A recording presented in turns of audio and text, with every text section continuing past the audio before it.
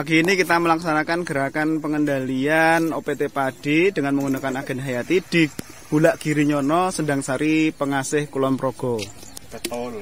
Antusiasme petani untuk mengamankan tanaman padi sangat luar biasa. Mantap.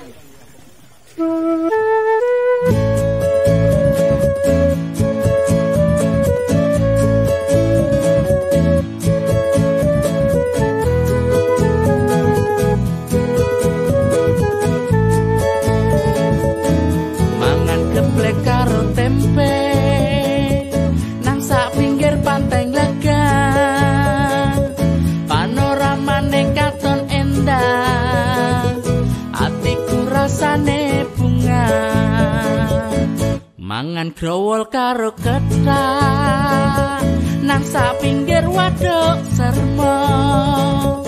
Banyu katon anteng lan ombo disawang penak neng moto.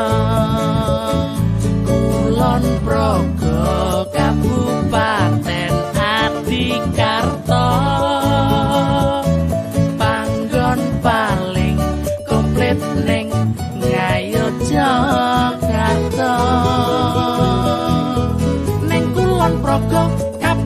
iya ana saka panganan waduk lan segara.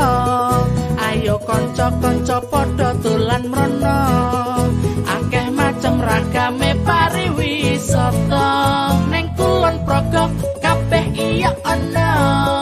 Tari angguke wis kondang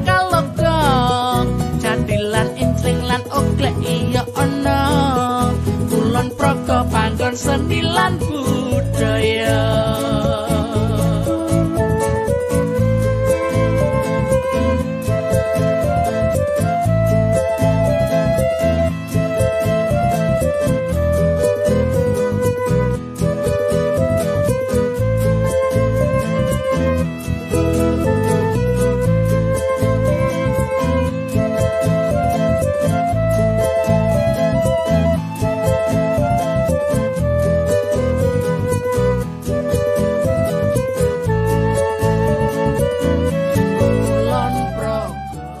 pertanian ramah lingkungan, petani sehat, produksi mantap.